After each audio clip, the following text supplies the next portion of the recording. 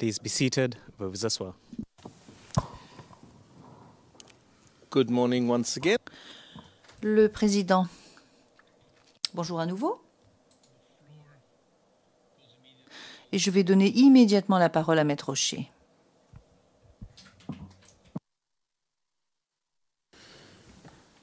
Ernest, thank you. Maître Rocher, merci, Monsieur le Président. Monsieur le témoin, le 16 décembre,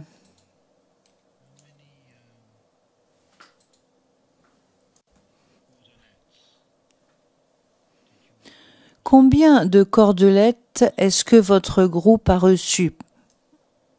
Dans la mesure où vous vous en souvenez. Puisque vous avez décrit euh, cela, vous avez dit que les cordelettes étaient faites avec euh, du fil de canne à pêche, du fil de pêche. Et vous avez décrit cela comme des cordelettes. Donc, euh, combien de cordelettes ont été reçues par votre groupe?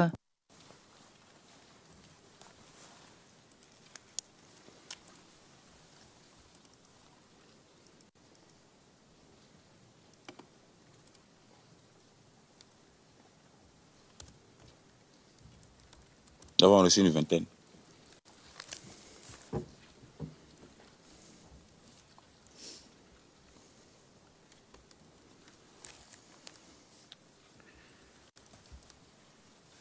And uh, on that day, Et ce jour-là,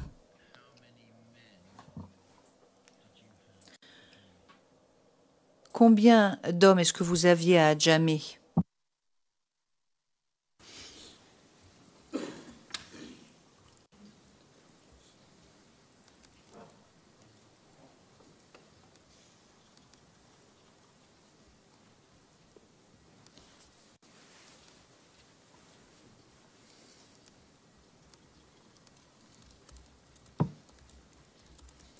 À Djamé, les éléments sur la base, les éléments sont sur la base à Djamé. Permanence en plus de 30. and of those 30 who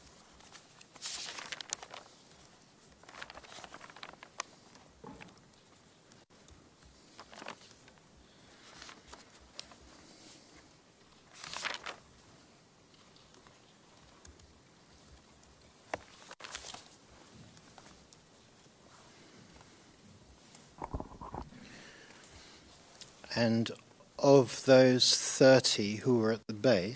Et parmi euh, ces 30 ou cette trentaine qui se trouvaient à la base, combien sont restés à la base et combien sont sortis avec vous pour euh, s'occuper des personnes qui faisaient partie de la marche?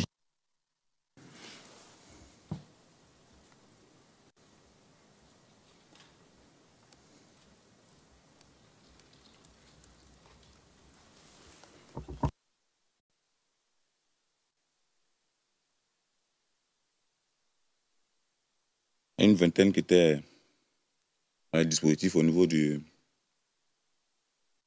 au niveau de- du boulevard des Matis. Et les autres, étaient dans, à la base et dans les environs.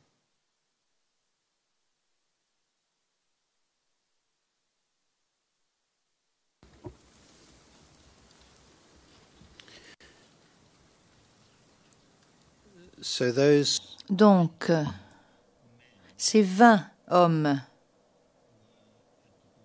qui se trouvaient au boulevard, est-ce qu'ils avaient, est-ce que chacun de ces 20 hommes avait une cordelette?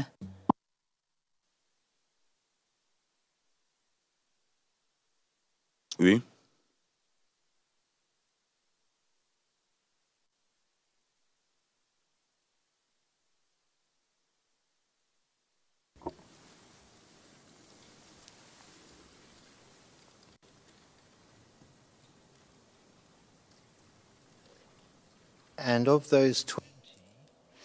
Et parmi ces 20 hommes, combien est-ce qu'il y en avait qui portaient des cannes? Des bâtons plutôt.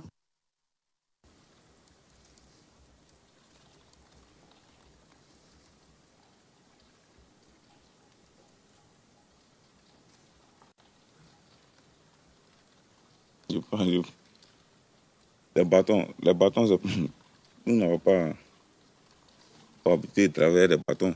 Euh, celui qui a un bâton à la main, c'est selon son lui-même, euh, je dirais, sa propre volonté. Non, le, bâton n'est pas une dotation que un élément a- euh, que j'ai donné à un élément ce jour-là. Donc, euh, je pas savoir le, nombre d'éléments qui avaient les bâtons dans les mains. Ceux qui avaient les bâtons, c'était de leur propre initiative.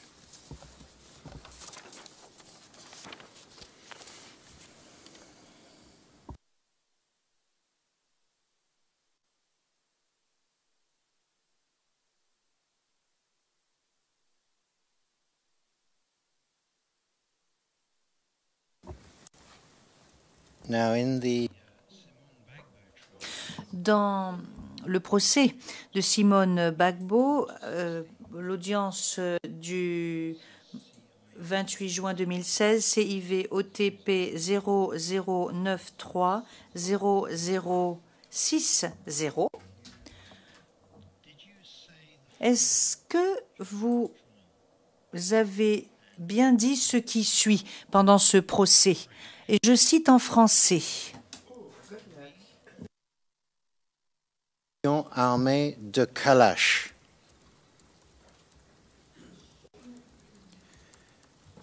Do you remember saying Est-ce que vous vous souvenez avoir dit cela pendant l'affaire euh, Simone Bagbo Et ce, au sujet de la marche?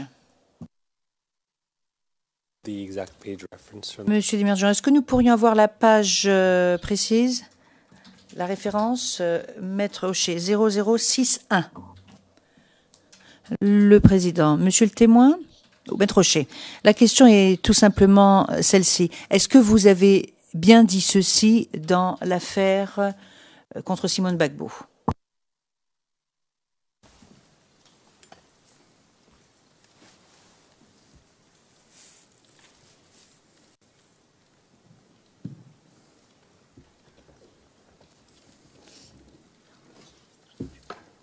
Je l'ai dit, mais je pense que la question que vous venez de me poser, c'est qu'est-ce que nous avions au niveau de la Djamé? Et la question qui m'était posée au procès, à ce procès-là est tout autre. Parce que, je- en tout cas, je me souviens en tout cas avoir expliqué que moi, personnellement, j'étais à Djamé et que je vais faire partie un élément au niveau de Cocody avec deux calaches. Il y a eu dit, les deux calaches qui avaient confié à Louba Touali, Jiska et à Geisha Lala CP1. Donc, on m'a posé la question de savoir au niveau de la Djamé, qu'est-ce qu'on avait? Qu'est-ce que j'ai répondu? La question qui m'a été posée, les éléments du GPP, quels sont les armes qu'on avait? Moi qui ai fait partie de qui étaient à Cocody. Et les deux armes que je leur ai données, j'étais obligé de, les, mentionner. Mais personnellement, à jamais, j'ai expliqué que nous, personnellement, à jamais, n'avons pas reçu l'instruction d'utiliser d'armes à feu au niveau de la Djamé. Voilà pourquoi à Djamé, nous n'avions que des codes de lettres. C'est pas parce qu'on n'avait pas d'armes à la disposition, mais uniquement que si, au niveau de la Djamé, les marchés étaient armés, nous, ces cas-là, il y avait l'autorisation de faire sortir des armes à feu. J'ai une fois expliqué cela.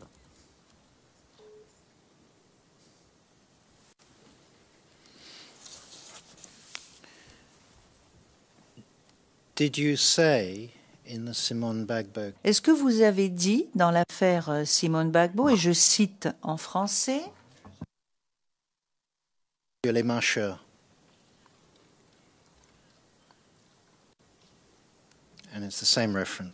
C'est la même référence.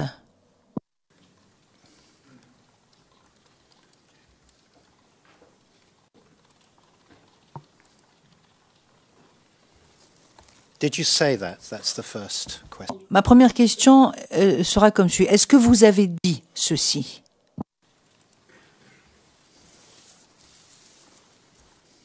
Dit que nous avions autorisation. Puisque quand j'ai dit nous, je parle des éléments. En temps, je vais déjà expliquer au niveau de la diamètre. Mais les éléments qui avaient les armes, ils avaient le droit de tirer si nécessaire. C'était une insurrection. C'était en ce terme que était qualifiée cette marche. Et les marcheurs étaient qualifiés d'assaillants, de subversifs. Je n'étais pas personnellement à Audi et à l'expliquer. Les éléments qui étaient, étaient armés avaient l'autorisation de tirer si nécessaire. Mais moi, personnellement, je n'ai pas tiré sur quelqu'un puisque je n'avais pas d'arme.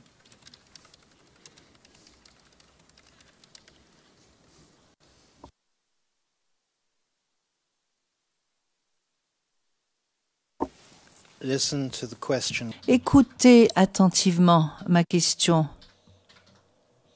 Alors, bien sûr, vous pouvez toujours euh, étoffer et développer votre propos, mais j'aimerais avoir une réponse à cette question précise. Est-ce que vous avez dit, est-ce que vous avez utilisé les mots suivants dans l'affaire Simone Bagbo, et je cite en français? Close inverted commas. Fin de la citation. Did you say those words? Est-ce que vous avez prononcé ces mots?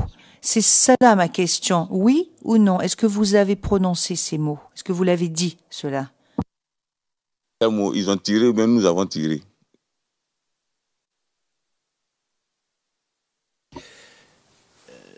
What I have recorded Alors, ce que j'ai là et ce que je vous ai demandé, c'était ce qui suit. Nous avons tiré sur les marcheurs.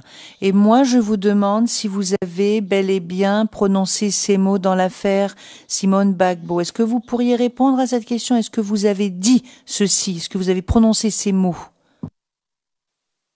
Je pas dit que nous avons tiré, nous. Nous, avons tiré. Il y a eu. Ils sont encore retourés et tout ça là. Parce que la euh, retranscription, sais pas comment, euh, à quel niveau. J'ai expliqué même ici, lorsque le procureur m'a interrogé, il a dit il y a eu des tirs. Il y a eu des tirs. Il y a eu des tirs, mais je n'ai pas dit que nous, personnellement, nous avons tiré, mais nous avons l'autorisation de tirer au cas où cela était nécessaire. Je n'ai pas dit que nous avons tiré.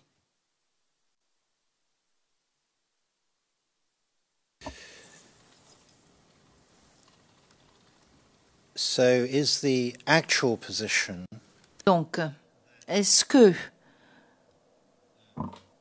ce qui s'est passé, c'est que vous avez entendu des tirs, des coups de feu, mais vous ne savez pas qui a ouvert le feu, qui a tiré? Est-ce que c'est cela, la réalité?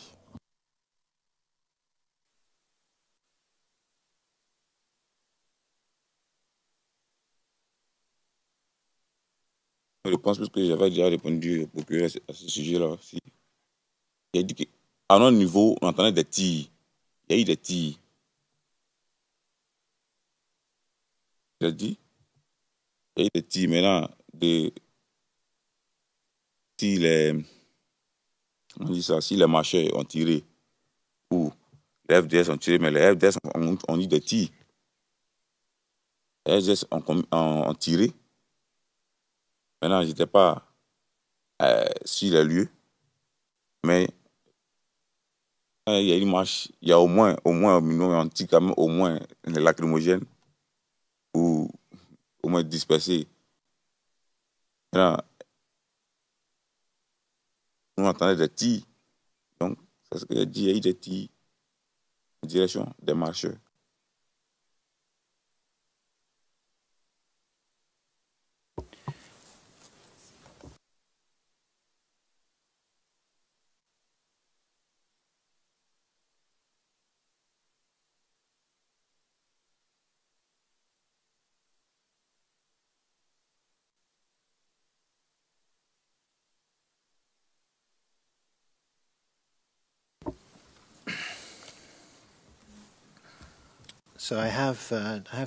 Donc, euh, j'aimerais vous poser deux questions à la suite de ce que vous venez de dire.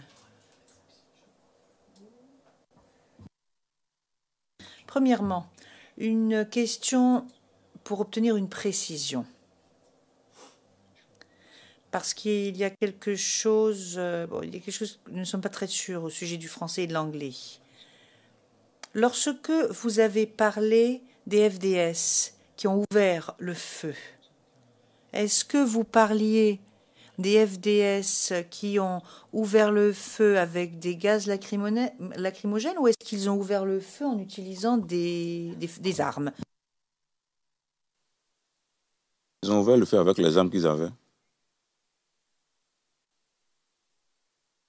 Ils ont ouvert le feu avec les armes qu'ils avaient. Les armes avec lesquelles, les armes qu'ils avaient comme dotation là-bas. Il y a une marche, les- euh, il y a une marche. euh,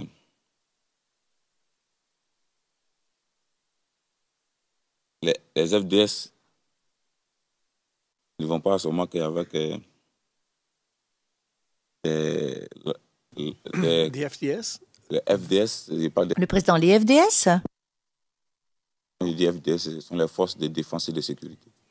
En fait, c'est- je pense que on avait tous assimilé la définition. Il parle des forces de défense et de sécurité avec comme dotation No, no. Président. Non, non, la définition, elle est bonne. Mais le problème, c'est ce que vous avez dit juste après les FDS. Et c'est cela que les interprètes n'avaient pas compris.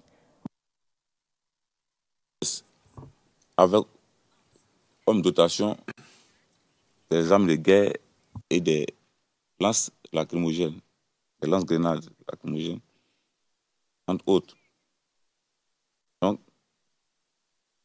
ils ont fait usage d'armes. C'est ce que j'ai dit en disant que les SDF ont tiré. Et même de notre position, nous avons entendu un coup de feu. Maintenant, il n'était pas arrêté sur les lieux, soit c'est le coup de feu de quoi? Mais ce que je sais aussi, c'est que même euh, les journaux, comment on parlait de la marche, et nous aussi, nous avons arrêté des marcheurs, nous avons euh, accepté des marcheurs.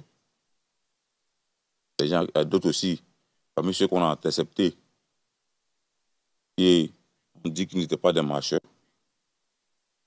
Et soit ils étaient dans les courses, ou bien rendaient en tout cas dans une activité. Puisqu'il y avait des tirs, voilà pourquoi eux fuyaient. On a intercepté des gens qui disaient ne pas être des marcheurs. Donc, je sais qu'il y a eu des tirs de la part des FDS.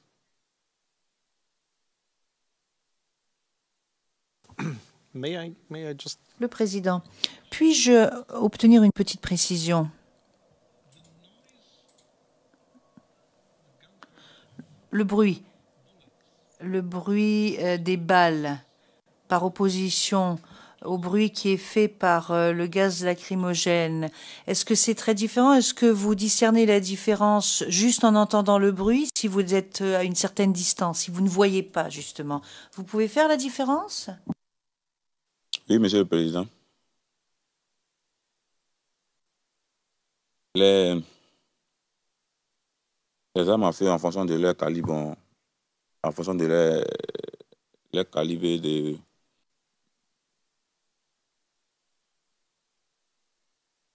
de la puissance aussi de,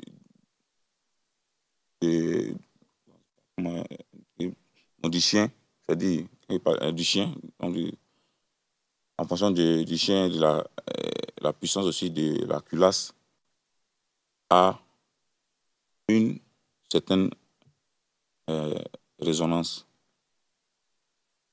the caliber. Yes, en fonction du calibre,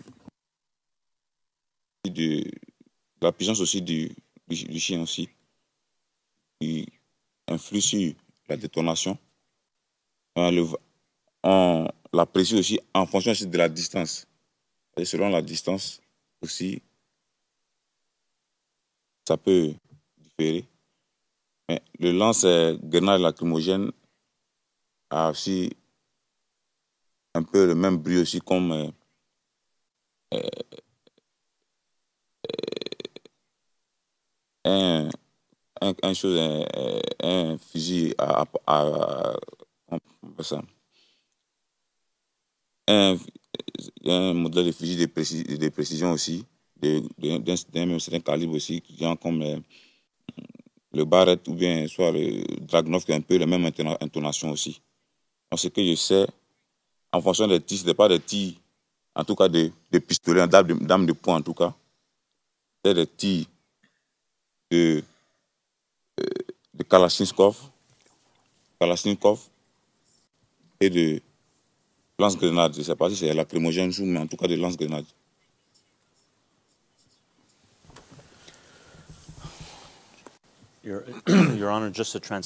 Monsieur MacDonald, juste une question de traduction. Le président, oui, monsieur le témoin. Pourriez-vous parler de façon un peu plus compréhensible pour que les interprètes puissent euh, faire leur travail?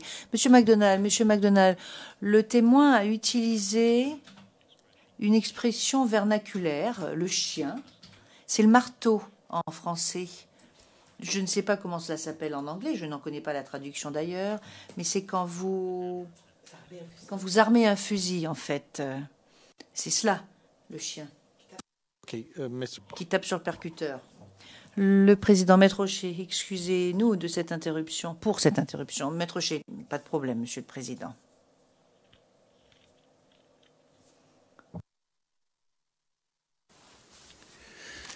So, uh, a s- Donc, euh, une deuxième demande de précision par rapport à ce que vous avez dit un peu plus tôt.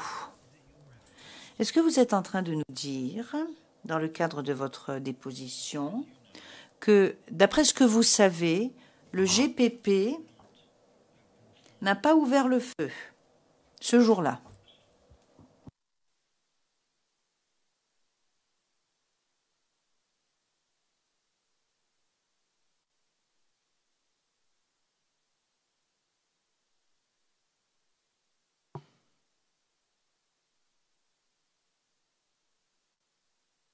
Ce jour-là, les éléments que moi j'ai envoyés en tout cas, n'ont pas ouvert le feu.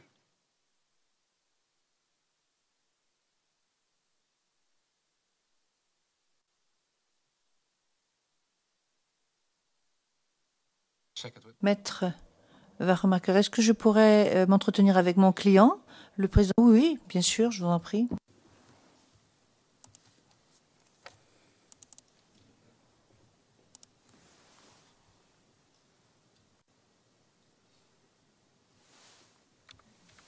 Maître Warmacher, merci. Le président Maître Rocher.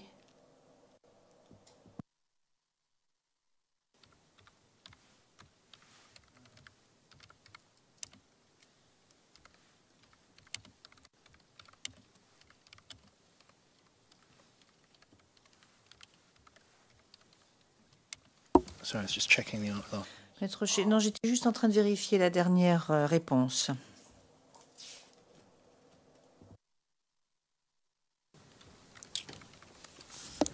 So,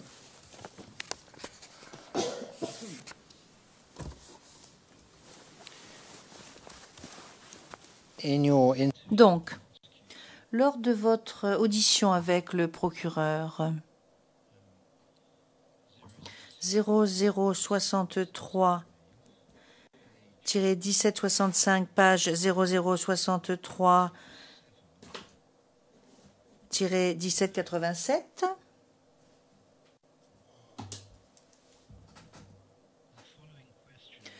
La question suivante vous a été posée. Ligne 782.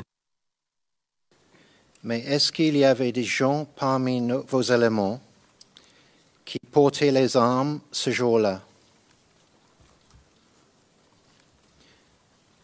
That was the question.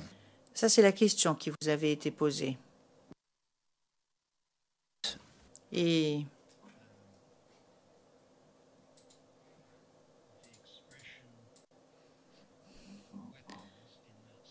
dans cette phrase, l'expression pour les armes, et je cite, a été comme suit. So in French, porter Donc en français, porter des armes, cela vient d'être traduit comme arme. Donc votre réponse euh, à la ligne 784. on n'avait pas d'armes. On n'avait pas le droit. Même si on avait, on n'avait pas le droit même d'en porter sur nous. Celui qui avait une arme sur lui là-bas peut être capable de se faire arrêter.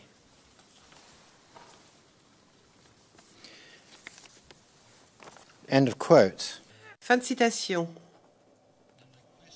Alors, voici ma question. Elle est extrêmement précise. La voici. Lorsque vous a posé cette question, on vous a- lorsqu'on vous a demandé si ce jour-là vos hommes portaient des armes, est-ce que vous êtes d'accord pour dire suite à cette euh, question et cette réponse, que vous avez parfaitement compris que lorsque le procureur parlait d'armes, il parlait d'armes à feu. Vous aviez bien compris que cela portait sur des armes à feu, n'est-ce pas? Oui ou non? Oui.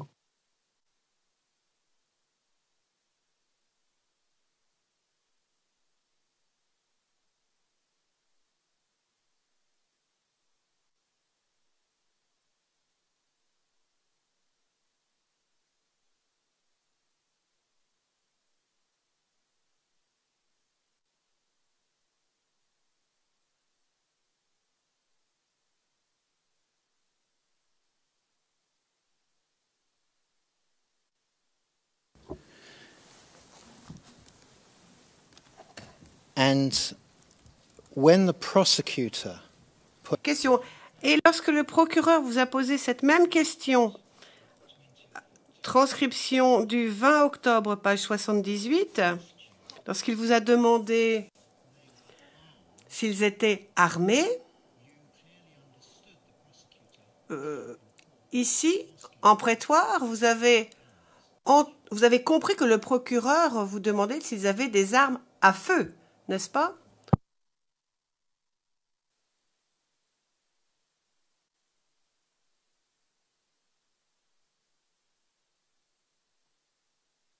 Oui. Just a second, Your Honors. Monsieur le Major, une minute. J'aimerais savoir quel est l'extrait exact de la transcription parce qu'il lui demande d'affirmer, enfin de, de confirmer une déclaration qu'il a faite, mais on ne lui a pas cité la, to- la déclaration totale. Maître Rocher, non, je ne demande pas de maintenir euh, la déclaration qu'il a faite. Je pense que, Madame, Messieurs les juges, vous avez parfaitement compris ce que j'ai fait. Le président, oui, enfin, si vous trouviez le passage exact de la transcription et si vous le lisiez à haute voix, ce serait mieux. Maître Hochet, enfin non, je suis quand même en, en pleine action, là, en ce moment. Je n'ai pas euh, envie que le, pas la partie adverse commence à me donner des leçons et à me dire qu'il faut faire ci ou ça. Le président, oui, oui, ça j'ai bien compris, personne ne donne de leçons à qui que ce soit. Mais bon, nous, étions quand même convenus de présenter le passage. Maître Rocher, mais je l'ai fait, je l'ai fait. Le, président, non, non, la, pas, dans la transcription d'il y a quelques jours. Maître Rocher, mais si, mais si, je l'ai fait. J'ai dit, l'accusation vous a demandé, était-il armé? Fin de citation. C'est la question que je ai posée. C'est la question que l'accusation a posée, se reprend l'interprète, et c'est la question que j'ai posée. Alors, c'est je suis en plein exercice, je suis en pleine action. euh, Donc, euh, s'il vous plaît, soyez patient. le président, je veux bien être patient, mais euh, j'aimerais qu'au compte rendu, vous inscriviez où vous avez obtenu ce passage. Maître Hocher, mais je l'ai dit, transcription page 20, transcription du 20 octobre, page 78. Le président et la ligne, le maître Hocher la ligne, je vais vous la trouver incessamment sous peu.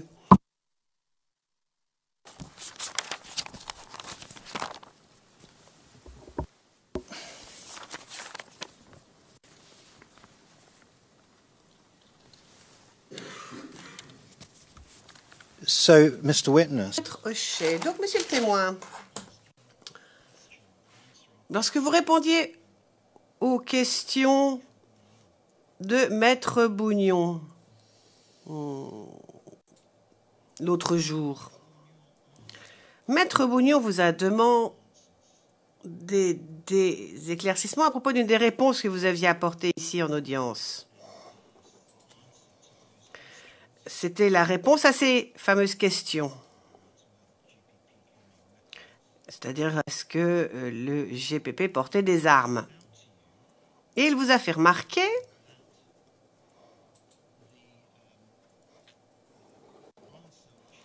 que la réponse que vous aviez donnée était certain en portait. Et lorsqu'on vous a présenté cette contradiction, votre réponse a été de dire Ah, parmi les armes, il y a les armes blanches. C'était en français. Vous vous souvenez avoir répondu cela à Maître Bougnon alors qu'il vous demandait des éclaircissements à ce propos? Monsieur de Medjean, debout. Le président, non, non, non, non, non, assis, assis. Non. je sais exactement où vous allez Faites référence à la page, maître euh, Hochet, monsieur de Medjian, si bien ce que vous lui demandez. Monsieur de Medjian, non, c'est une question déjà qui est fort compliquée, qui est complexe, qui est alambiquée. Le témoin ne sait pas. Le président, je ne vous donne pas la parole, je ne vous donne pas la parole. Il faut qu'on poursuive. Alors, maître Hochet, donnez la référence de la page où cela a été prononcé. Et faites en sorte que le témoin vous comprenne bien. Je comprends bien votre exercice, c'est délicat, c'est vous êtes sur le fil de rasoir. Maître Rocher, écoutez, avec votre euh, autorisation, je donnerai la référence dans une minute, euh, parce que je ne voudrais pas perdre trop de temps.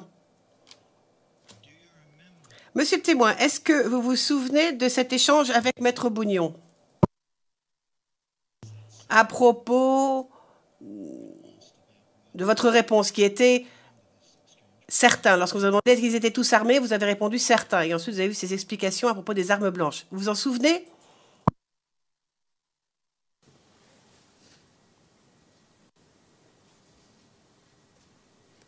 Merci, Maître.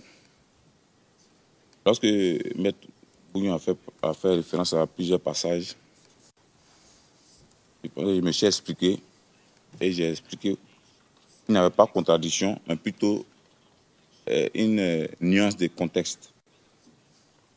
Il y a une fois où la question m'a été posée et j'ai bien précisé que quand euh, on avait des cordelettes, et ça signifie que non, on parlait là d'armes à feu.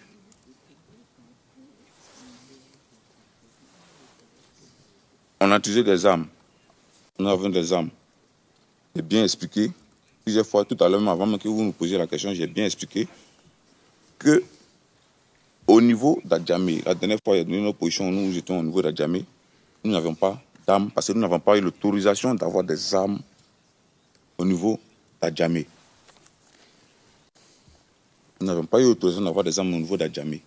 J'ai expliqué qu'il y avait des éléments qu'il avait envoyés à Cocody et avec deux, deux grands chefs de section qui étaient partis avec deux armes à feu et qui étaient allés. Lorsqu'on me pose la question de savoir, lorsqu'on me parle d'Adjamé, comment est-ce que ça s'était passé, qu'on me demande automatiquement, est-ce que vous avez des armes? Je vais répondre non, puisque nous n'avons pas des armes. Nous, d'Adjamé, nous n'avons pas d'armes. J'ai bien, bien expliqué. À moins que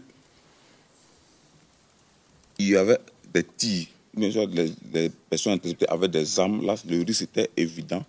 Là, on avait maintenant la raison de pouvoir sortir les armes. Auquel cas, celui qui avait une arme sur lui serait arrêté. Parce que les instructions étaient bien claires. Sinon, on nous a dit de ne pas sortir avec les armes à ce niveau. Savent, ceux qui ont donné les instructions savent pourquoi ils l'ont fait. C'est pour ne pas qu'il y ait, il y ait, eh, nuances, bien, c'est pas, mais les raisons, les raisons précises, c'est qu'ils savent. Mais au niveau de la nous n'avons pas l'autorisation d'avoir des armes à feu.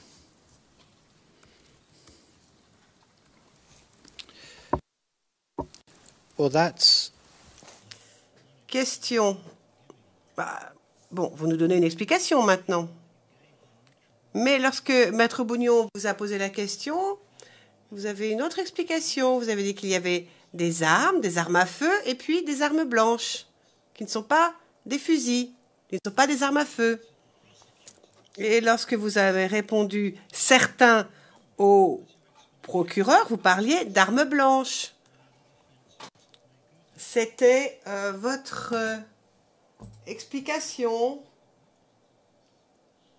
euh, lorsque vous répondiez à la défense de M. Blégoudet.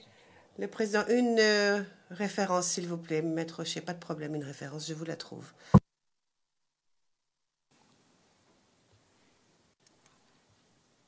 Je pense qu'il était question la Djamé. Il m'a été demandé de montrer les différentes positions qu'on avait au niveau de la Djamé, sur la carte, tout ça. Donc je pense qu'il fait référence à Djamé, si je ne m'abuse.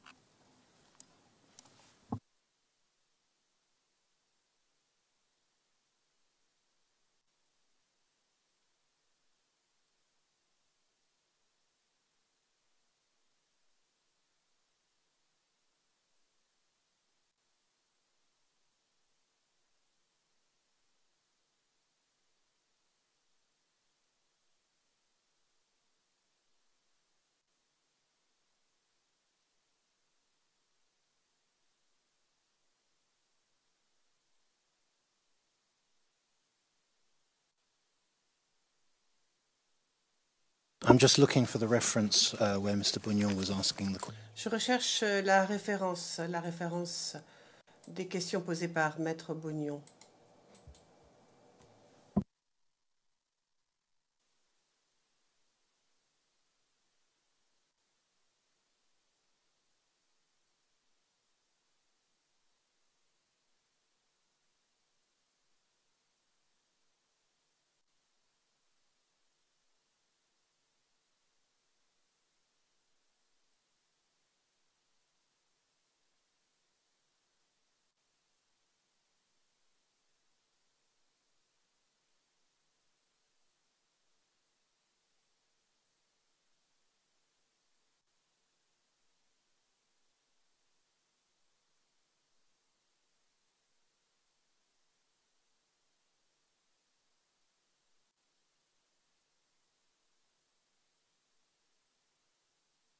Yes, I'm getting the kind of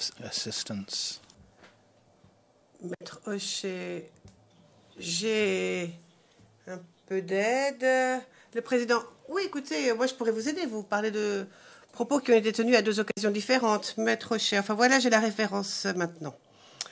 Donc, en transcription française, 27 octobre, page 22, ligne 23 et suite.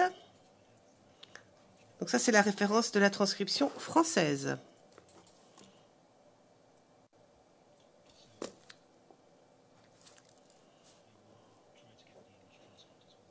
Et je vais chercher la référence pour la transcription anglaise, mais j'aimerais poursuivre. Le président, allez-y.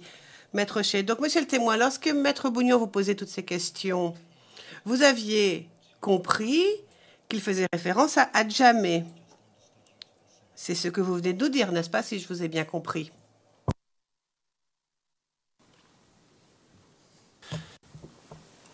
N'est-ce pas?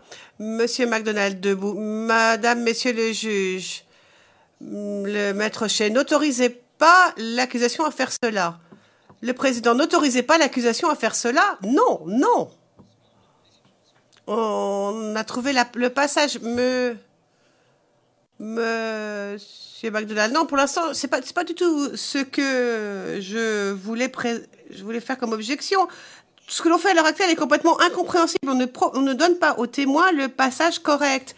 Mon collègue ne fait que paraphraser le président interrompant. Écoutez, Monsieur McDonald, j'ai dit une bonne fois pour toutes à monsieur, à maître Hocher de trouver le passage pertinent. Point, c'est tout. Point final. Maître Hocher, je ne fais pas référence aux questions de monsieur, de maître Bougnon, je fais référence à la dernière réponse du question, et c'est là qu'on faisait, avant donc ce débat sur les références, je lui demandais d'éclaircir sa dernière réponse. Et je vous demande donc, monsieur le témoin, ai-je raison de dire que votre explication maintenant, c'est que lorsque vous posiez, lorsque vous répondiez aux questions de Maître Bougnon, vous pensiez qu'il parlait des hommes à Adjamé. C'est cela?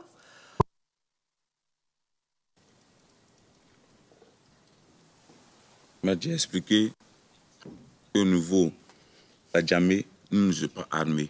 Et j'ai expliqué que, nonobstant, il y a des éléments qui avaient parti à Cocody avec deux palaces. Sans tous ces éléments-là, il y avait les éléments de Cocody eux-mêmes s'étaient organisés à leur niveau là-bas, puisque c'était dans les zones que les événements se sont déroulés. Donc, quand vous parlez, vous posez une question, je réponds aux questions selon le contexte, mais selon la, euh, euh, la période que vous indiquez, ou soit selon euh, l'endroit dont vous parlez. Quand on me parle de ce qui s'est passé à Djamé, tantôt qu'est-ce qui s'est passé à Cocody, et après on me dit de répondre d'une manière générale ou bien après d'une manière singulière, bon, arrivé à un moment, moi, je suis, sincèrement, je suis confus. Sincèrement. Parce que là, j'ai... That's also what I think, because mais moi aussi, je, trouve, je pense la même chose. Si je vous ai bien compris, vous faites référence à deux transcriptions. Deux transcriptions euh, venant de deux jours différents sur deux sujets différents. Et euh, je pense que euh, ainsi vous induisez le témoin en erreur. Maître Rocher, je fais référence à la discussion qui a eu lieu entre Maître Bougnot et le témoin, où il posait des questions à propos du 16 décembre 2010. Il faisait référence aux propos tenus par ce témoin-ci à l'accusation lorsque l'accusation leur demandait s'ils étaient armés et que sa réponse avait été certains l'étaient. Maître Bougnon a essayé en fait de faire ressortir une contradiction, puisque en prétoire, lorsqu'il répondait à l'accusation, il avait dit certains emportaient, alors que dans ses réponses précédentes, il avait dit nous n'étions pas armés. C'était la contradiction que Maître Bougnon voulait souligner.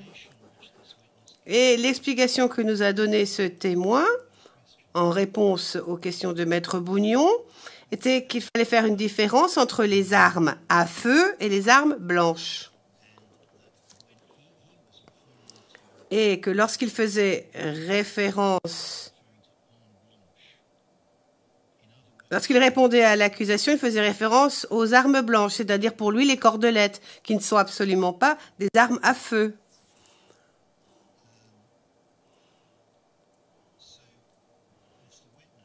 Alors, monsieur le témoin, Lorsque vous parliez d'armes blanches, et lorsque vous expliquiez avec euh, Maître Bougnon à ce propos, et à propos de cette euh, phrase certains d'entre eux, est-ce que vous faisiez référence aux hommes à Adjamé?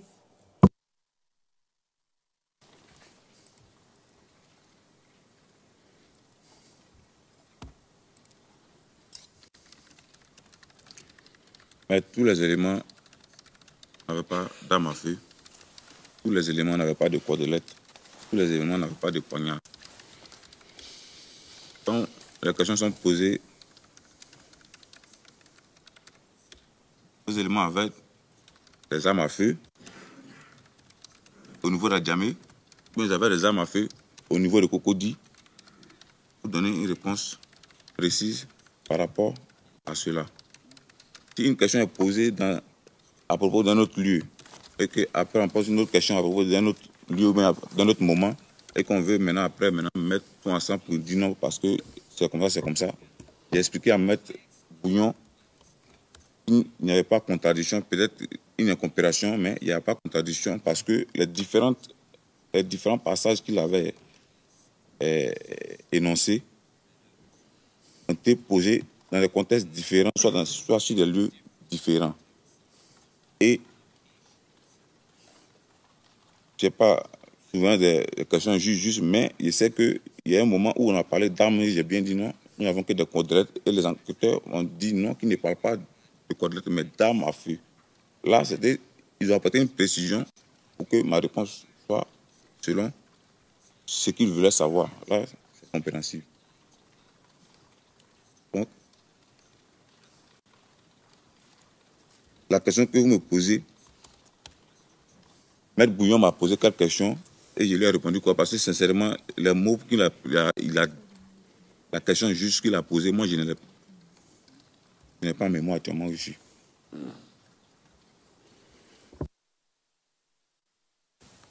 So, if Question. Donc si maintenant, je vous pose la question suivante.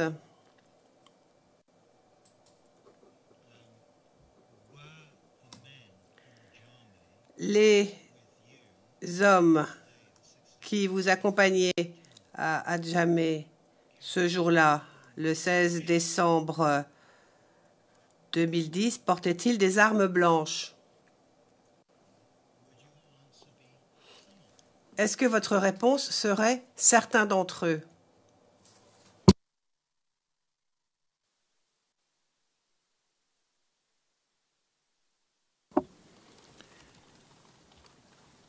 And Question. Alors, dans votre esprit,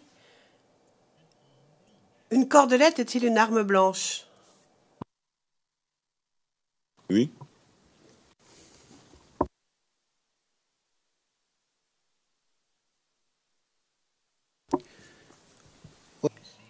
Question. Alors, le problème, monsieur le témoin, avec votre réponse, c'est qu'alors que je vous posais des questions précédemment, je vous ai demandé combien de cordelettes ont été reçues et vous avez dit il y en avait 20. Et je vous ai demandé ensuite combien y avait-il de GPP à Djamé et vous avez dit à peu près 20.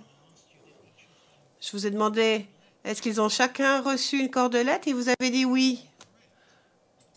Alors, on ne peut pas dire que certains d'entre eux avaient des armes blanches.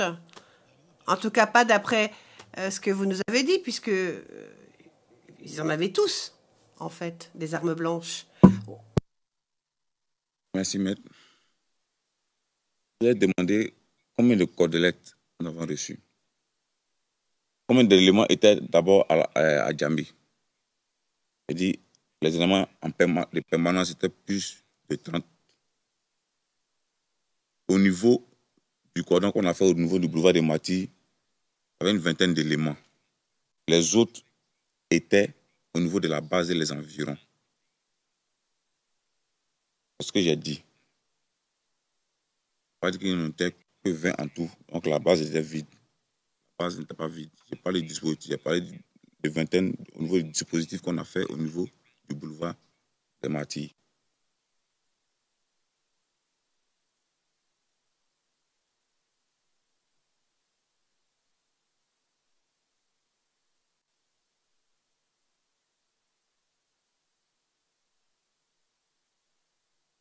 Can I just for the record put also the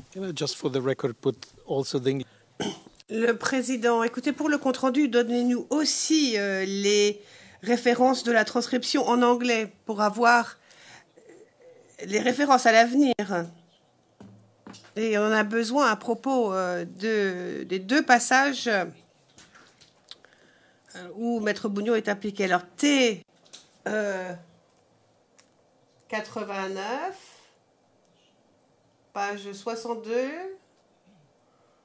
ligne 22, non, ligne 23 à 25. C'est là où il y a cette fameuse question du certain, some of them. Nous, là, on parle de transcription en anglais. hein. Et l'autre, c'est la, le T93, 27 octobre, page 16 à 23. Le passage pertinent se trouvant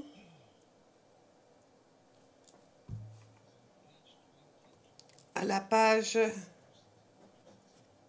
22, les premières lignes, où il est fait mention d'armes blanches. Maître Rocher, poursuivez.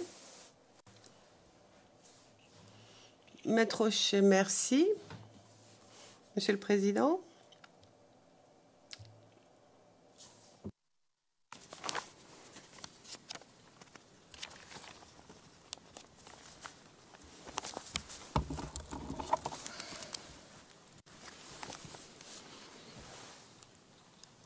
Now, on various occasions, Question. À plusieurs reprises,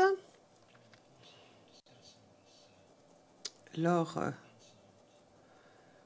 de vos réponses et des discussions à propos de la marche allant de la marche sur la RTI du 26 décembre 2010, vous avez fait référence à plusieurs reprises à vos locaux. Où se trouvaient exactement vos locaux?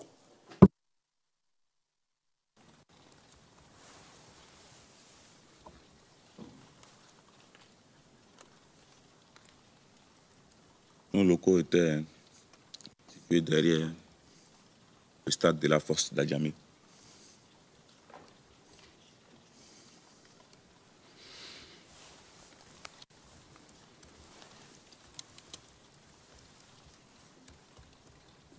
was it one building or s- S'agissait-il d'un bâtiment, de plusieurs bâtiments, or one room? une seule pièce? Deux appartements au rez-de-chaussée. L'un est le domicile de Boiseau et l'autre où il y avait bureau et avait une chambre pour les éléments qui, entreposaient les, les affaires afin de pouvoir s'échanger. Puis il y avait la chambre de loger.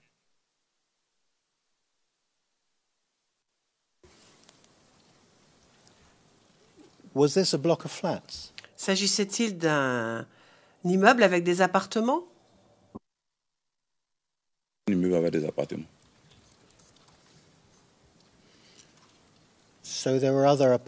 Donc il y avait d'autres appartements où d'autres personnes habitaient. Les autres appartements étaient habités par d'autres personnes.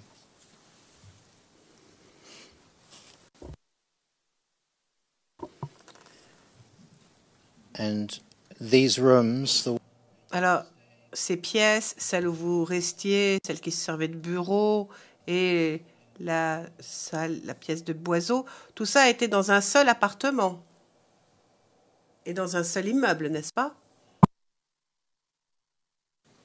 C'est deux appartements, dans deux immeubles voisins, mais les deux appartements sont au, au rez-de-chaussée des deux immeubles. C'est sur le même alignement. Les immeubles sont voisins.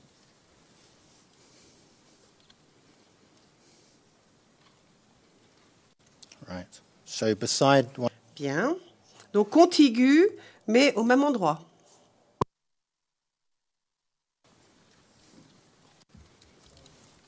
just tying it up. Just tying. Je j'essaie juste de, de, euh, bien ficeler les choses. Le président, oui, vous ficelez, mais c'est c'est long. Maître Hochet, oui, je sais, mais bon, parfois, euh, on doit revenir sur certaines choses. Vous l'avez sans doute remarqué. c'est le témoin alors qui revient sur certaines choses de lui-même. Question. Donc devant les juges de cette cour, vous nous dites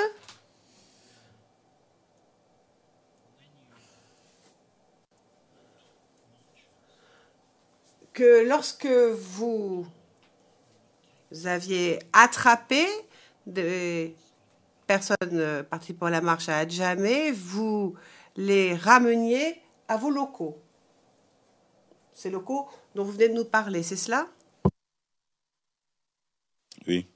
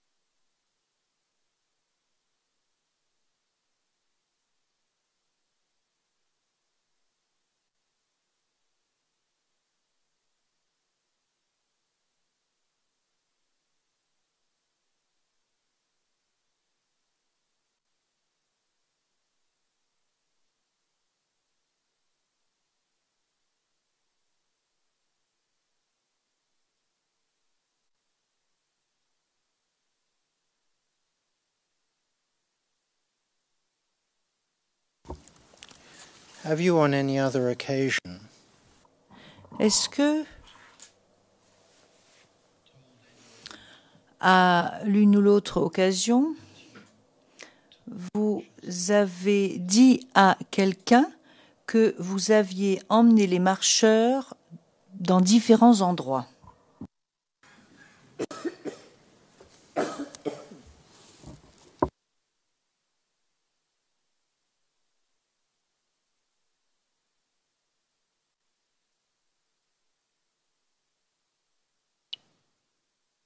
J'ai dit qu'on les remettait aux forces de l'ordre, soit qu'ils venaient les récupérer directement sur nos positions, soit par contre, on les amenait à notre base et après, ils venaient les récupérer. J'ai expliqué.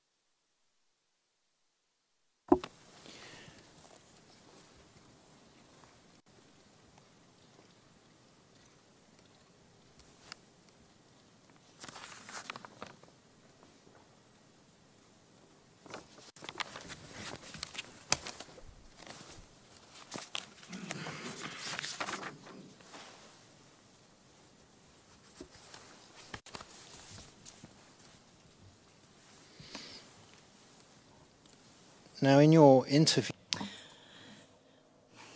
lors de votre audition à la page 17 64, donc il s'agit du document CIVOTP 0063-1765, et à la page 1784, disais-je, voilà ce que vous avez dit. À la ligne 682. sorry, 680, Ou excusez-moi, 680. que nous on intercepté.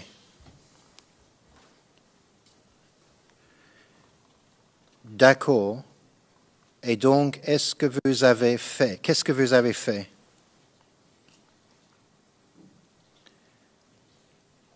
On les chicotait. On les chicotait. Mais on les chicotait puis on les laissait. On ne les amenait pas quelque part.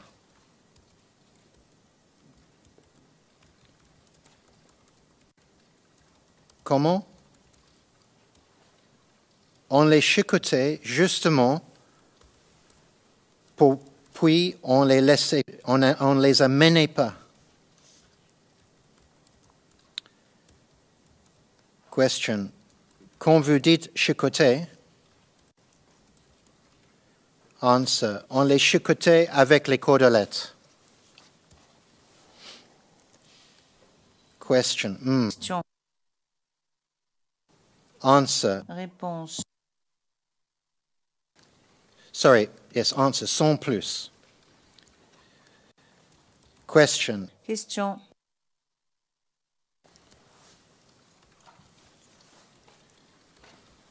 Answer. Réponse. Euh, pardon, il y avait des blessures. J'ai dit ça. Il y avait des blessures. Question, d'accord. Et ensuite, eh, qu'est-ce que vous avez fait? Answer. Réponse.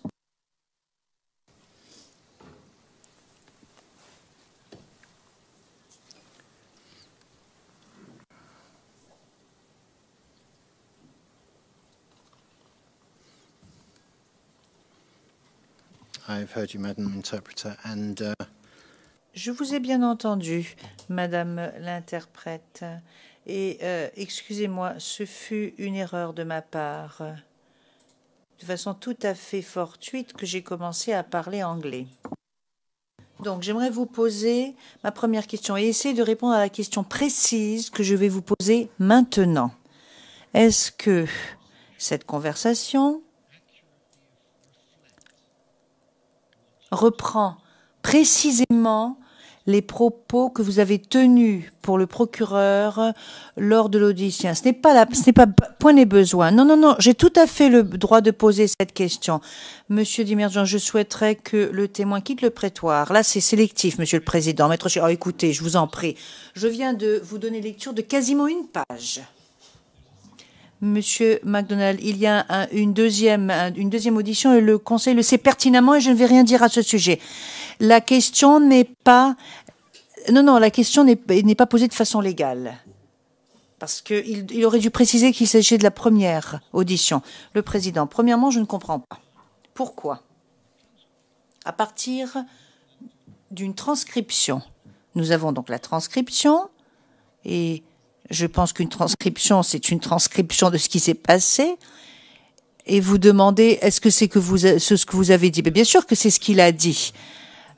Maître est-ce que le témoin peut sortir parce qu'il est absolument primordial que le, la Chambre comprend, comprenne ce que je suis en train de faire? C'est absolument essentiel. Si la Chambre ne comprend pas pourquoi je pose la question pour et que je demande au témoin est-ce que ces propos euh, reflètent, sont le reflet fidèle de ce que vous avez dit, alors j'ai besoin de fournir une explication. Le Président, bien, nous allons donc faire sortir le témoin.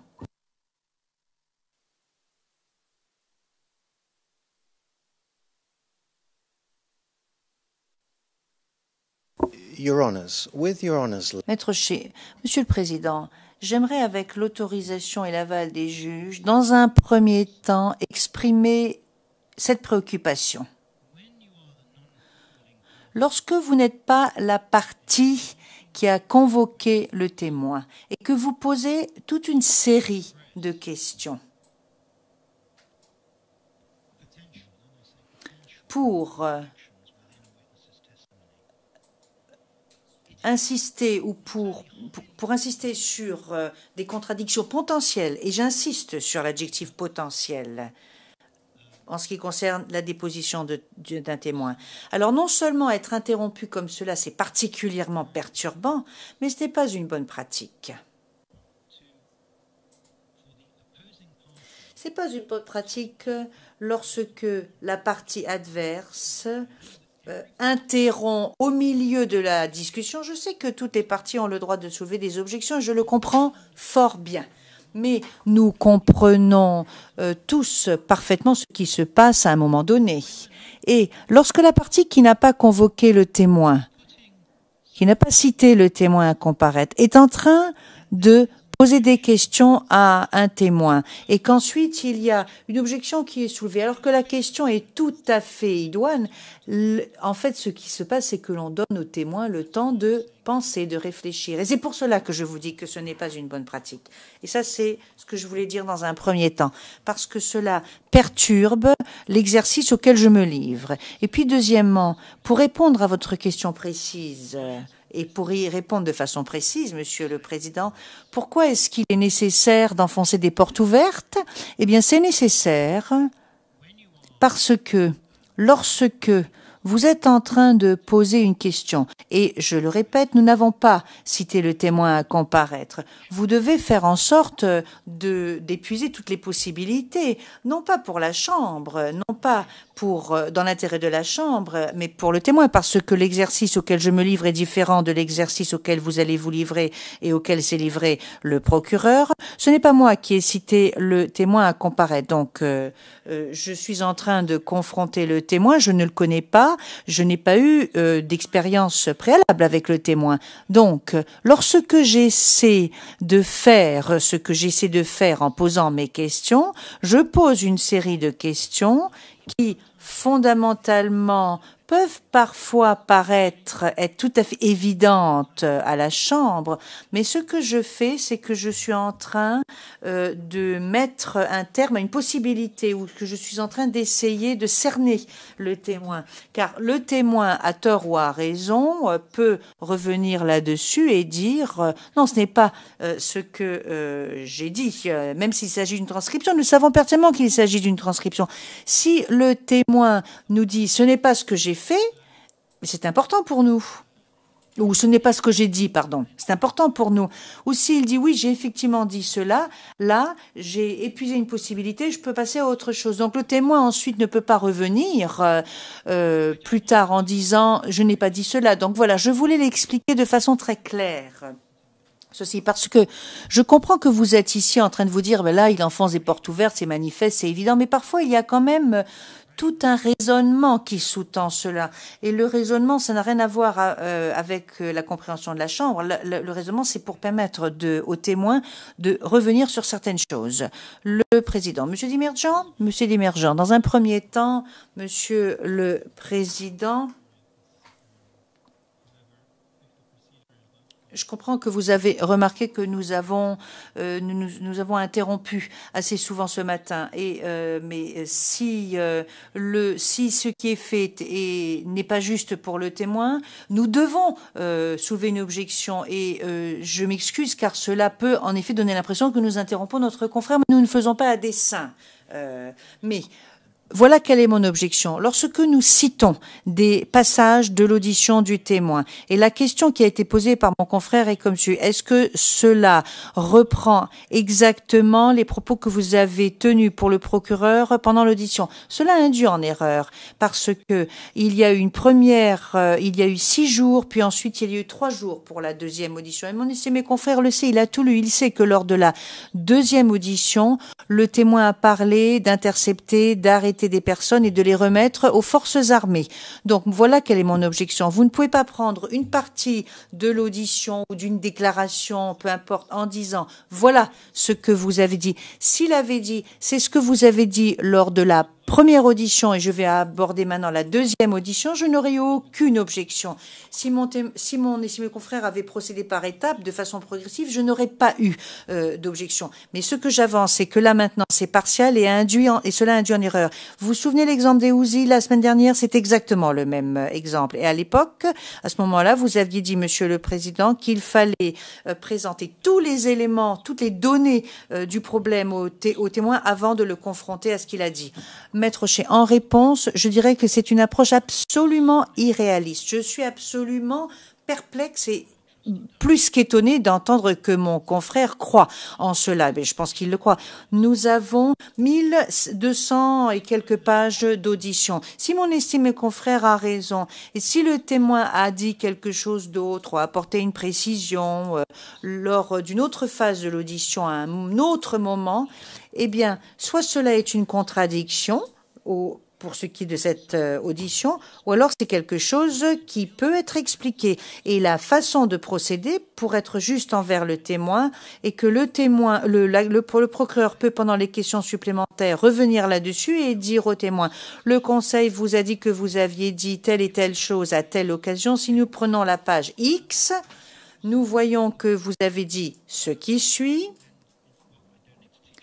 Bon, enfin, euh, point n'est besoin. Euh, euh, d'éduquer le procureur. Mais voyez, le président Point n'est besoin d'éduquer la Chambre non plus. Maître Chi, non, la Chambre non plus. Mais lorsque vous menez un contre-interrogatoire, Monsieur le Président, essentiellement, fondamentalement, vous voulez voir quelles vont être les réponses du témoin. Vous n'êtes pas obligé de revenir sur ce tout ce qu'a dit le témoin parce que cela va être contre-productif. Parce que si vous pensez que ce qu'il a dit le jour X de son audition, si vous pensez que cela est tout à fait contradictoire avec ce qu'il a dit le jour Y, Enfin, moi, je me souviens que Maître Bougnon a été critiqué justement pour cela, à tort ou à raison d'ailleurs, euh, parce qu'il avait pris plusieurs déclarations. Maître Bougnon, il les avait toutes lues, et ensuite il avait posé la question au témoin. Et là, mon estimé confrère euh, s'est levé et a dit ah mais ce n'est pas juste pour le témoin. Moi, je prends maintenant euh, toute une série de phrases bien précises dans une transcription. J'en ai donné lecture au témoin, et ensuite je lui ai dit est-ce que cela reprend fidèlement et précisément les propos que vous avez tenus ce jour-là, il n'y a absolument rien d'injuste. Le président, non, ce jour-là, non. Si vous dites ce jour-là, non. Maître Roger, mais c'est la question que j'ai posée. Le président, ah, moi je ne me souviens pas si vous parliez du jour où il avait dit cela. Je ne me souviens plus si vous avez dit, euh, interrompu par Maître Rocher. Je n'ai pas utilisé le terme jour, mais sans nous, nous entrer dans des questions de sémantique, je lui ai demandé si ses propos alors que j'avais cité exactement ses propos. Je lui ai demandé si ses propos reprenaient euh, fidèlement et exactement ce qu'il avait dit au procureur. Le président. Ah, Maître Bougnon. Maître Bougnon, vous voulez intervenir? Oui, je vous en prie. Monsieur le Président, je m'autorise à me lever, excusez-moi, parce que quand vous lirez le transcript du 27 octobre 2016, à, la page, à partir de la page 29 29, 30, 31, vous verrez que la même chose qui est en train de se passer s'est passée exactement à la même question, aux mêmes contradictions. La même observation qui a été faite a été de dire qu'on fait un choix sélectif des réponses données par le témoin. Monsieur le, Monsieur le Président, le problème qui se pose, et le problème qui est connu par l'accusation, quand vous envoyez un témoin qui, qui sur 1500 pages de déclaration, sur un même fait, sur un même fait, je ne dis pas sur une, opinion, sur un même fait, raconte trois choses différentes. Et que quand vous l'interrogez, vous, vous choisissez à dessein une de ces déclarations. Pourquoi voulez-vous que la défense lise ce qui doit vous plaire. C'est vous qui avez choisi d'emmener par devant la Chambre un témoin qui ne fait que se contredire. Vous l'avez fait à dessein. Et donc, il est opportun pour la défense de montrer ces contradictions en choisissant les parties dans lesquelles ces contradictions apparaissent. Parce que ce que vient de dire le procureur, ce que font les enquêteurs ne sont pas des questions de précision. C'est sur le même fait qu'en 2015, on lui pose, sur le même fait, en 2015, on lui pose la même question, il répond différemment. Sur le même fait. Pourquoi voulez-vous que ce soit la déclaration de 2015 que, que je choisisse? Et donc, je pense que c'est de manière vraiment inéquitable que l'accusation, sachant très bien où on va, essaie de porter aide et secours aux témoins qui ne fait que se contradire, mais c'est eux qui l'ont choisi. C'est ce, que je voulais, ce que je voulais vous apporter comme président, Monsieur le Président. I think we are not. Le président. Nous n'en sommes pas au stade des plaidoiries des réquisitoires, me semble-t-il. Donc, voilà ce que j'aimerais vous dire. Deux choses, en fait. Premièrement, je comprends que cela est particulièrement perturbant, mais il est parfois très difficile de comprendre s'il s'agit soit, soit d'une faute, pour utiliser euh, un terme euh, de football, pour interrompre, euh, s'il s'agit juste d'interrompre euh, une attaque euh, ou s'il s'agit d'une faute.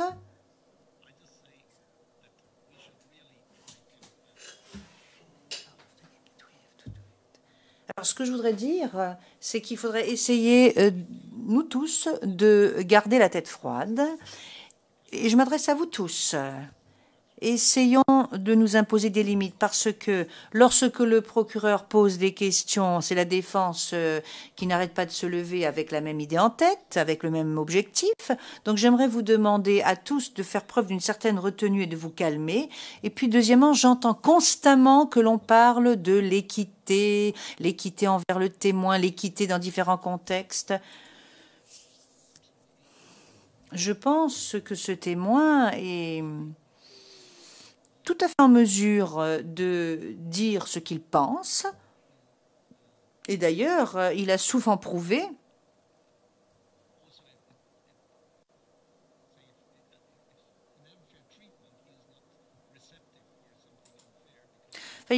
en tout cas, il n'est pas très réceptif lorsque l'on est injuste envers lui, parce qu'elle est tout à fait en mesure de répondre aux questions et de dire cette question, ce n'est pas une bonne question, etc. Donc, je pense qu'il faut laisser le témoin, qu'il dise ce qu'il a à dire, poser-lui des questions de façon exacte et essayons de- d'en venir au terme de cette déposition. Parce que moi, je ne sais pas ce qu'il en est. Mais est-ce que vous allez devoir terminer euh, euh, un thème? Maître écoutez, j'ai horreur de faire perdre euh, euh, du temps à la Chambre, mais excusez-moi, il va falloir que je relise tout cela, que j'obtienne ma réponse et ensuite nous pourrons faire la pause. Le président, oui, mais alors dites-lui la date de à quelle date cela a été fait pour être quand même plus juste.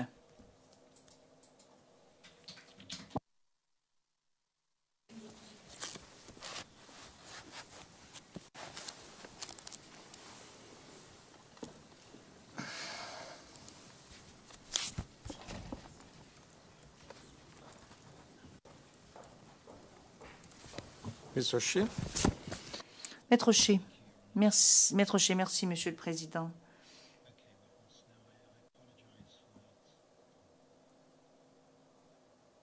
Excusez-moi, Monsieur le témoin. Je m'excuse. Excusez-moi donc pour cette interruption, mais cela vous a au moins donné la possibilité de vous dégourdir les jambes. Mais bon, il y a quand même un certain temps qui s'est passé maintenant depuis que je vous ai posé ma question, donc je vais la reposer à nouveau.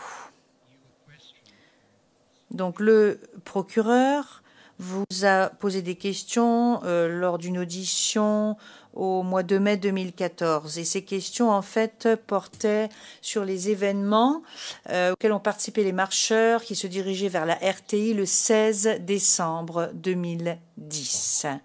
Alors, je vais vous donner lecture d'un extrait.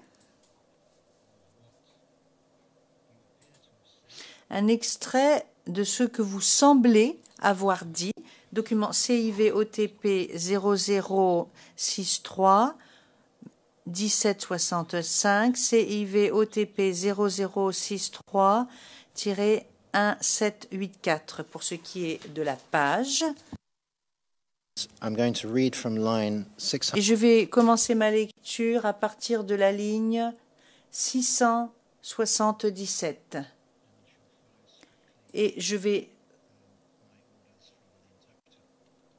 suivre au pied de la lettre les ordres qui m'ont été donnés par les interprètes de la cabine anglaise. Et je cite en français. entendu. Et là, ils puissent traverser le carniveau pour arriver dans le 20 220 logements, ceux qui étaient à Djammi pour regagner à Djammi. Intervieweur 1. Hmm. Personne entendu. C'est cela que nous on accepté. Intervieweur 1. D'accord. Et donc, est-ce que vous avez fait, qu'est-ce que vous avez fait? Personne entendu. On les chicotait. On les chicotait. Mais on les, on les chicotait, puis on les laissait. On ne les amenait pas quelque part. Intervieweur 1. Comment? Personne entendu. On les chicotait, justement, pour puis on les amenait pas? Intervieweur 1. Quand vous dites chicoter, personne entendu, on les chicotait avec la cordelette. Intervieweur 1. Hmm. Personne entendu. Sans plus. Intervieweur 1. Est-ce qu'il y avait des blessures? Personne entendu. Il y avait des blessures. J'ai dit ça. Il y avait des blessures. Intervieweur 1. D'accord. Et ensuite, est-ce que vous avez, qu'est-ce que vous avez fait? Personne entendu. C'était tu. End of quotation. Fin de la citation. Alors, j'aimerais vous poser deux questions très précises, monsieur. Il se peut qu'il y ait d'autres questions par la suite, mais pour le moment, j'aimerais vous poser deux questions précises et vous répondrez par oui ou par non. Ma première question est comme suit. Je viens de vous lire ce passage. Est-ce que ce passage que je viens de vous lire correspond exactement à ce que vous avez dit au bureau du procureur en mai 2014 Oui ou non?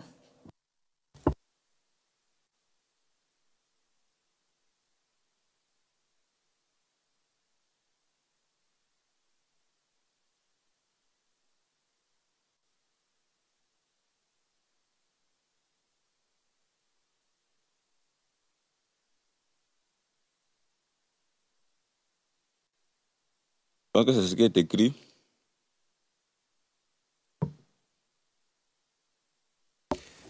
And my second question Et ma deuxième question est comme suit. Est-ce que vous êtes d'accord avec euh, cette déclaration aujourd'hui? Oui ou non?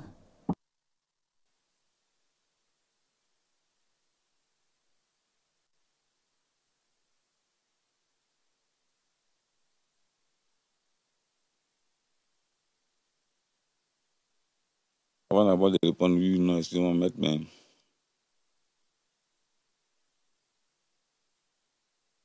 Ouais, c'était une interview.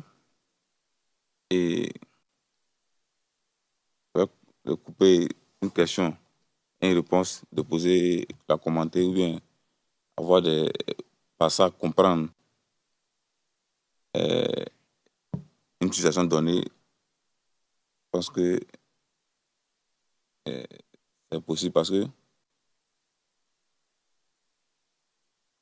l'idée que j'ai, la pensée que, que j'ai expliqué par là, c'est que nous n'avons pas mandat de déférer quelqu'un ou d'amener quelqu'un soit peut-être euh, au parquet, dire, pardon, au parquet, et à la préfecture, par exemple, de déférer ce que nous, nous, nous intercept- interceptions. Je pense qu'au fil des, des interviews, j'ai vu la nécessité d'expliquer, de rentrer dans les détails, expliquer comment est-ce que tout était organisé. Je pense que même il y a, été même posé la question de savoir est-ce que nous en, nous en, nous en ou est-ce que alors, dans ce cas, ceux qui viennent les récupérer, est-ce que les emmener? Donc, je pense que euh, on peut couper une partie d'un interrogatoire c'est plusieurs fois, parce que plusieurs fois, cette question été abordée. J'ai eu à venir expliquer en détail parce que j'ai compris qu'il n'avait pas saisi la pensée que moi j'avais exprimée là. Ce que nous interceptions, on ne les déférait pas. Ne pas nous qui, les transportions pour les envoyer soit au secours, ou bien soit à la préfecture, bien soit dans un autre endroit que ce soit. Mais ce qui devait se faire, moment, c'est les forces de défense et sécurité qui avaient mandat pour les emmener. Lorsque ils mettaient du temps, dans ce cas-là que nous, on les emmenait sur notre base. Et on leur faisait signe que nous avions les gens à notre base. Normalement, ils venaient les récupérer eux-mêmes sur le théâtre des opérations où nous étions. Voilà, j'ai bien expliqué. La mesure, c'est que on n'avait pas de, de déporter quelqu'un ou bien de, quelqu'un dans un lieu que ce soit. Mais c'est arrivé parce que c'est euh, le déroulement des événements qui a, qui a entraîné le fait qu'on les ait détenus dans nos locaux. C'est ce qui est écrit, voilà comment se traduisait la pensée lorsque j'ai me suis exprimé en ces, en ces termes.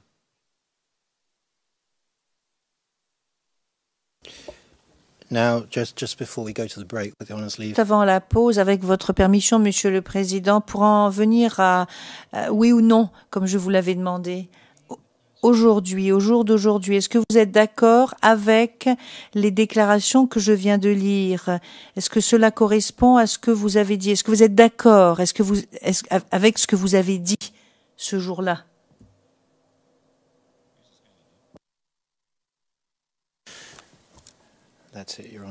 Maître Chi, voilà, j'en ai terminé pour le moment, Monsieur le Président. Le Président, bien, merci. Nous allons faire la pause déjeuner. Nous reviendrons à 14h30.